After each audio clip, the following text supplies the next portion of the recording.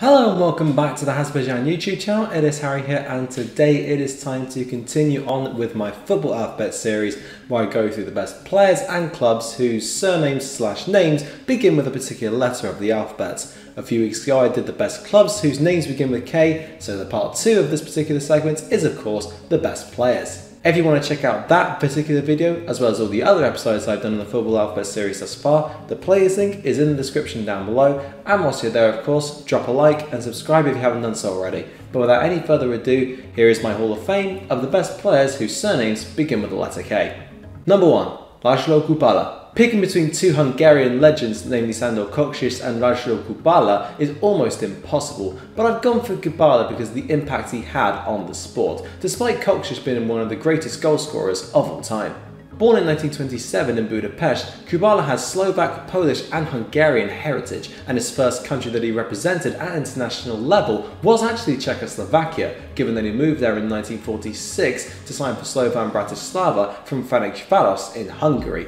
where he was a teammate of Kocsis. He returned to Hungary in 1949 to avoid Czechoslovak military service, but in 1949, when Hungary became a socialist country, Kubala fled in the back of a truck with his wife and child, eventually arriving in Italy. He officially joined Pro Patria, but he also agreed to play for Torino in a testimonial match against Benfica in May 1949, although he had to pull out at the last minute owing to his son falling ill. It was a lucky escape for Kubala, as when the Torino team returned from that game, their plane crashed into the Basilica of Superga, killing everyone on board. After FIFA banned him for a year as a result of him fleeing Hungary, he formed his own team, Hungaria, made up exclusively of refugees, who played a series of friendlies against Spanish opposition in 1950, including Real Madrid. So impressed were Los Blancos by the forward's proficiency in front of goal, skill on the ball and blistering pace that they wanted to sign him immediately. But since the ban was still hanging over his head and they refused to let his brother-in-law become a coach at the club as per Kubala's demands, the move fell through.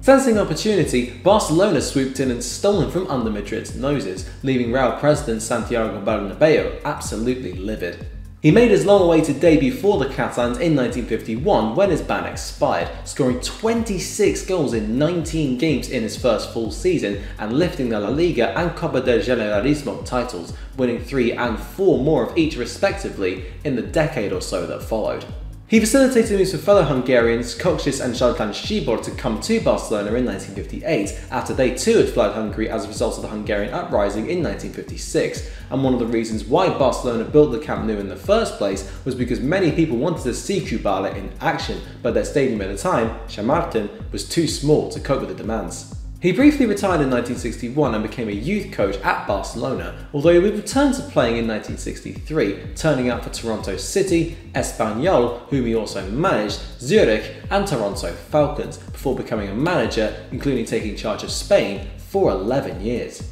His story is too complex and remarkable for a brief profile such as this, but I hope I've done my best to sum it up as concisely as I can. Number 2. Kaká Kaká used to be my favourite player growing up, although it was basically because he seemed like an extremely genuine person given his humanitarian work and the fact that he gave 10% of his wages to the church as opposed to how good of a footballer he was. But make no mistake, he was at one point the best in the world. Born in 1982, he started out at Sao Paulo, although his career and life as a whole was thrown into huge doubt after he fractured his spine in a swimming pool accident, but mercifully, he made a full recovery. His good form for Sao Paulo was rewarded with a place in Brazil's 2002 World Cup winning squad, albeit he only managed 3 minutes on the pitch throughout the entire tournament, and European giants AC Milan were, according to the man himself, the only ones to register a firm interest in him, resulting in him moving to the San Siro in 2003. Over the next six years, he became one of the best players in the world, spellbinding everyone with his pace, vision, ability to glide past defences with consummate ease, ball control and finishing ability, only hitting below double figures for goals or assists just once on both fronts, although he would only lift one league title and one Champions League title whilst in Milan. He did win a substantial number of individual honours though, including two Serie A Footballer of the Year awards, with the first coming in his debut campaign in 2003-04 and the big one, the Ballon d'Or, in 2007, becoming the last person outside of Lionel Messi or Cristiano Ronaldo to win the award until 2018. In January 2009, Nouveau Riche Manchester City, looking for yet another star signing to really show that they meant business in the transfer market, came in with a bid of £100 million, which Milan accepted, but Kaká turned them down, stating that he would only leave Milan for Real Madrid. Unsurprisingly then, when Madrid came calling in the summer of 2009 for a then world record £56 million, Kaká joined them, although his arrival was overshadowed by Cristiano Ronaldo's arrival for £80 million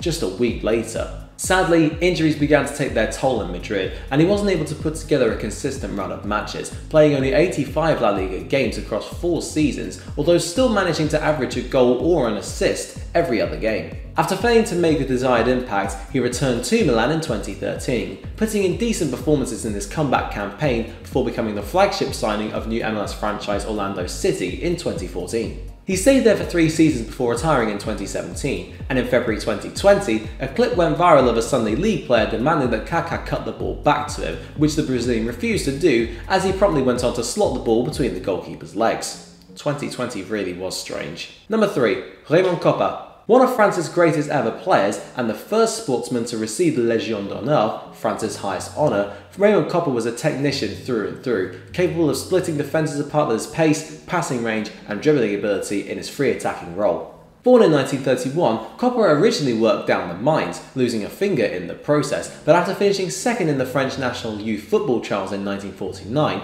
he was given a contract at local side Angers.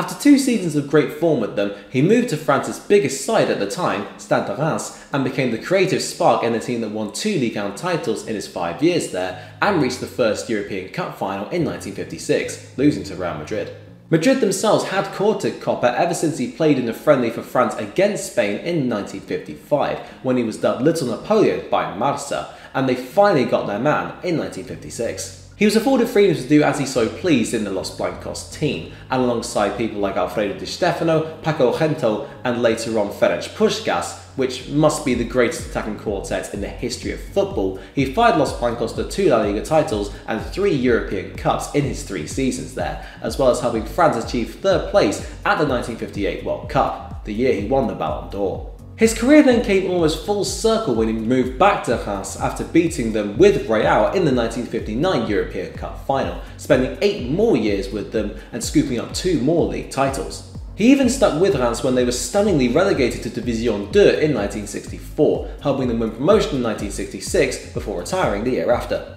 In 2018, the year after Kopa's death at the age of 85, the Kopa Trophy, awarded to the best young player in France, was created, and its first recipient was one Kylian Mbappe. Number 4. Ronald Koeman while he might be viewed as a joke of a manager nowadays, especially after joining the circus that is Barcelona in 2020, let's not forget that Ronald Koeman was, in his own right, an extremely talented defender, combining strength, grace, and elegance on the ball with a cannon of a right foot that served him well when shooting from distance. Born in 1963, he began at Groningen before moving to Ajax in 1983, although he made a controversial transfer to PSV in 1986, who were the dominant team in Dutch football at the time. With them, he won a hat trick of league titles and the European Cup in 1988, the year in which he scored 26 goals in all competitions, before Barcelona snapped him up in 1989, where he truly established himself as an elite defender. He won four straight league titles between 1991 and 1994 as an integral part of Johan Cruyff's dream team, and he scored the goal which won Barcelona their first European Cup in 1992 and remarkably, he would go on to score 90 goals for them across six seasons, making them their highest scoring defender of all time, with 26 of those goals coming from free kicks and 46 from penalties, records only bettered at the club by one Lionel Messi. He ended his career at Feyenoord, making him one of the few players to play for each of the Netherlands' big three, having scored 193 league goals, more than any other defender in football history, and 239 in 685 games at club level in all competitions, giving him an average of better than a goal every three games. Since retirement, he has managed a plethora of teams, including each of Holland's big three, Benfica, Everton, Southampton, and the Netherlands national team, although he has only won two trophies outside of the Netherlands in his career thus far, namely two Copas del Rey, one of which he won during last season with Barcelona, although his position as the manager of the club is looking more and more untenable by the minute. Number 5. Roy Keane Roy Keane is the only man in this video never to have played for either of the El Clasico giants, although of course that doesn't make him any less worthy of a place in a video of this ilk. Born in 1971, Keane began in life as a footballer at Co-op Ramblers, impressing sufficiently to be signed by Brian Clough's Nottingham Forest for just £47,000 in 1990. He began to stamp his authority on the English game immediately, with dominant displays in the centre of the park. Although with Forest struggling towards the wrong end of the table, Keane negotiated a relegation release clause into his contract, which became active when Forest were relegated in the first season of the Premier League era in 1993. Blackburn Rovers were the ones to trigger it, but they didn't have the correct paperwork by the end of the week to make the transfer official and had to wait until the following week to complete the deal owing to Forest's offices being closed during the weekends. Alex Ferguson, sensing an opportunity as he so often did, swooped in at the 11th hour to secure Keane's signature, providing the correct paperwork on the Saturday and signing him for Manchester United for a British record of £3.75 million. Over the next 12 years, he became the beating heart of United's midfield, combining his hardman image with tenacity, energy, a wonderful passing range, and superb tackling and positional awareness. He won a myriad of individual and team trophies with the Red Devils, including seven league titles, four FA Cups, and the Champions League in 1999, albeit he missed that particular final owing to picking up a yellow card in the semi final second leg against Juventus that suspended him from playing in the showpiece event, although his performance in that game against the Old Lady is widely cited as one of the best individual performances of all time, as he pushed United on to qualify for the final. His time there was littered with controversial incidents, including deliberately breaking Alf-Inge Haaland's leg in a Manchester derby in 2001 after a widely publicised spat between the two, and establishing a legendary rivalry with Arsenal's Patrick Vieira. It is perhaps fitting, therefore, that he and United parted ways in acrimonious circumstances after he criticised the players in an interview with MUTV that was never broadcast after a 4 1 defeat to Middlesbrough in October 2005, which led to him terminating his contract with the club by mutual consent.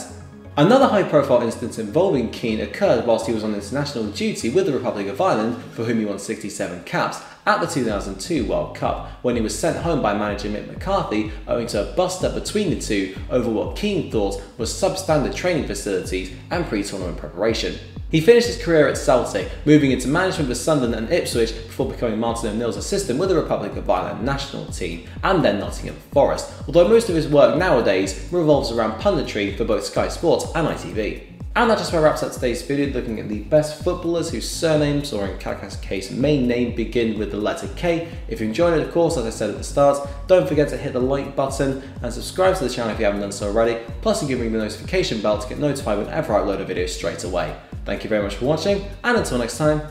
I'll see you then.